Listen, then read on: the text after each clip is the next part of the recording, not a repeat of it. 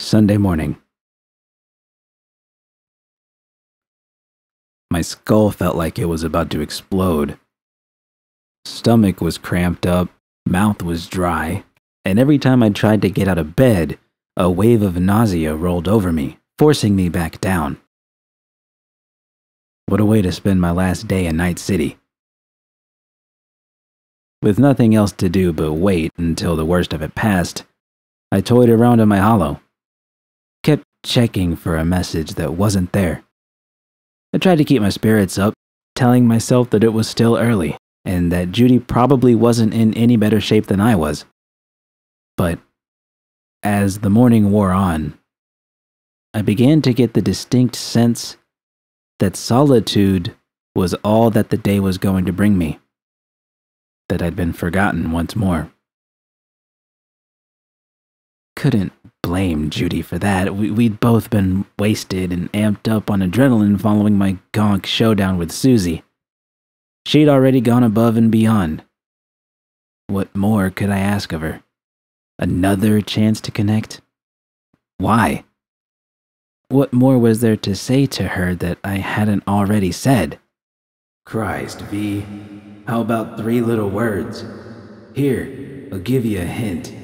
They start with I and end with you. Shut the fuck up. I had to get up and find something to do besides developing bed sores. Slowly, I climbed out of bed, gulping down the bubble of acid reflux that tried to pop free from my throat and wobbled to my feet.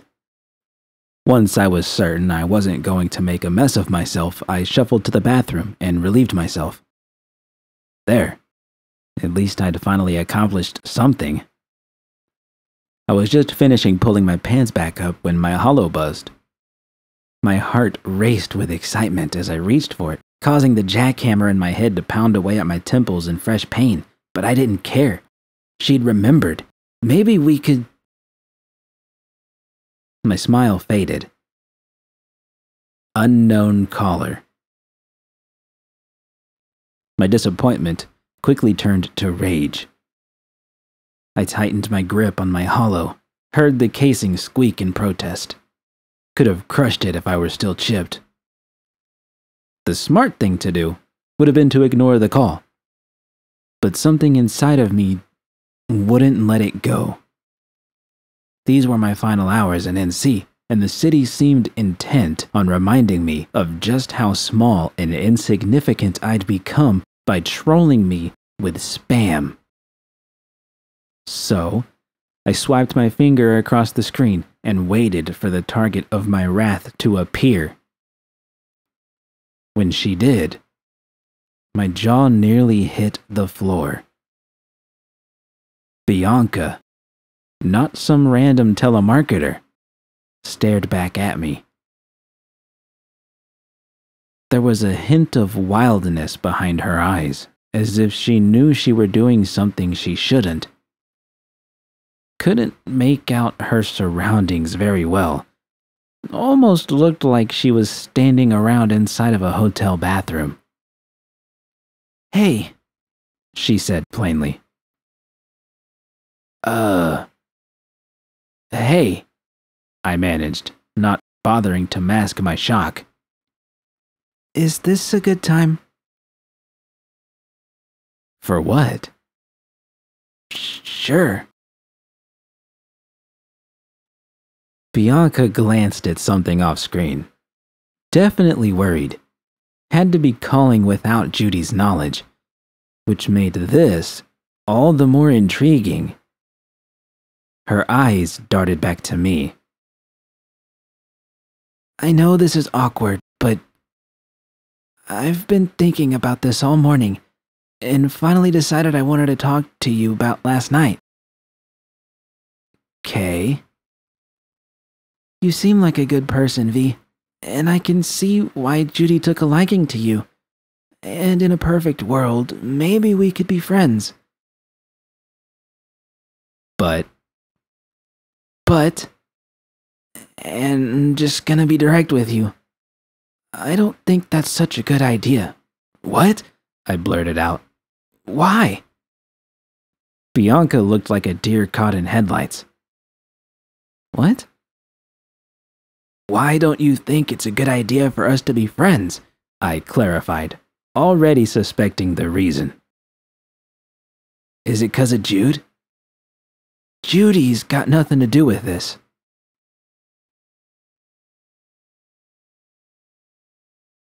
I said nothing and allowed my silence to repeat the question for me. When Bianca realized I was waiting for an explanation, she sighed.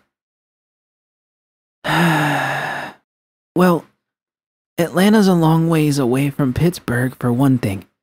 It would be pretty hard to maintain. Why don't you just cut the crap and spit it out already? Alright. I don't think it's healthy for either one of you to keep seeing each other. She reached out to you because I told her to, because I felt sorry for you and thought it would help both of you get some closure. It's a pretty fucked up situation after all. Now that that's happened, I think it's best we go our separate ways.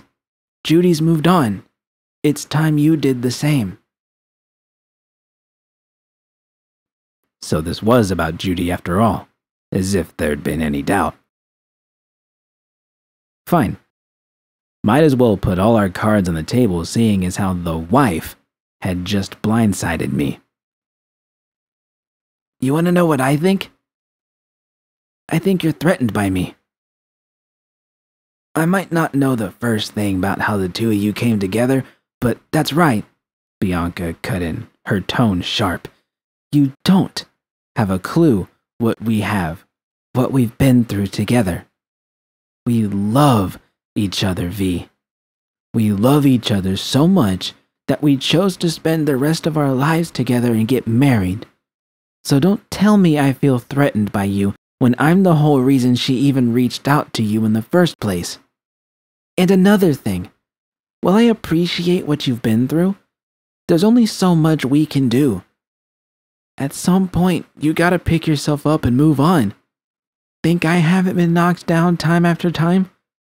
Think I don't know what it's like to have to pick up the shattered pieces of your life and put them back together again? I glanced at my reflection in the mirror. The woman staring back at me looked weak and unsure of herself. She was right. I didn't know the first damn thing about what their relationship was really like. Facts, timelines, a sprinkling of context. That was all I knew, because that was all they'd shared with me. I didn't have a clue what their domestic life was like, how they talked to one another, what they did for fun, how they made love. Didn't know about all the memories they'd shared, or what their wedding day had been like. Didn't know what their own Laguna Bend moment was. All I had to go on was what I'd observed, and as angry as it made me feel, there was no denying that Judy hadn't fallen for someone abusive or toxic. Bianca had her flaws, case in point, but they certainly weren't any worse than my own. She came across as kind, compassionate, smart, all things that Judy prized. And I could tell from the passion in her voice that she hadn't been exaggerating when she'd said she'd been through her own fair share of bad relationships. And worst of all, I agreed with her wholeheartedly. It was past time that I scraped myself off the floor and got a move on with my life. I was tired of living like this, one foot stuck in the past, unable to advance towards the future. And yet, last night hadn't been a fluke.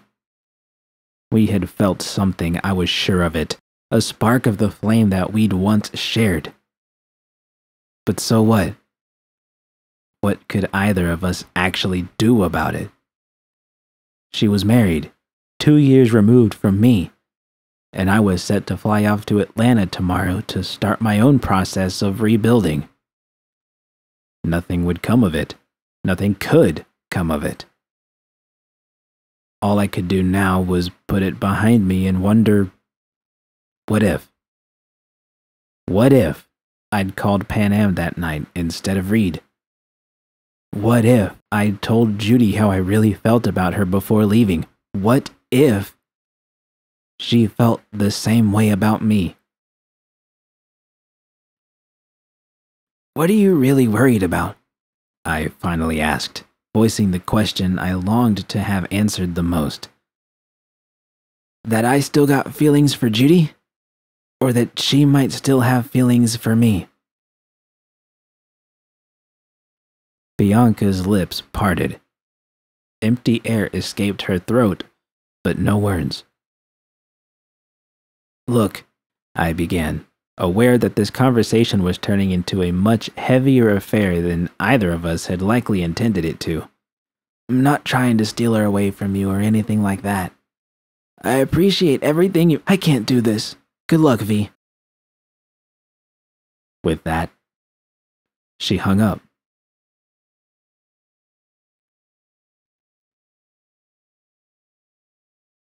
I stared at the screen long afterwards, trying to process everything. Part of me wanted to call Judy and tell her what Bianca had done. Would certainly feel good. But another part of me, the louder part, knew that that was a recipe for disaster. Judy would take her side. She'd have to. Whatever we'd once had our time was over. There was nothing to be gained by reopening old wounds, especially ones so painful. I looked at my bag. Everything I owned fit neatly inside with room to spare. So this was how everything came to an end. Not with a heartfelt confession that deep down, I had always hoped might happen. No. Things had ended exactly as they'd begun. I was alone. With a sigh, I sent a message to Chuck telling him I would be at Dirty Dick's in an hour for my last shift. I'd waffled over it all morning, and while I really didn't want to show my face there again, the simple truth was I needed the eddies. His reply was anything but gracious, just a stern warning not to cut him out of any tips or to skip out early. It was a fitting end to my life in Night City, a perfect homage to all the hopes and dreams I'd left by the wayside.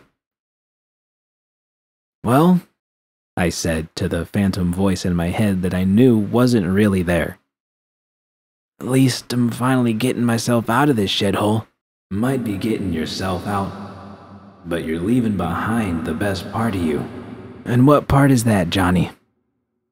Need me to spell it out for you? No, I admitted, fighting back tears. I don't.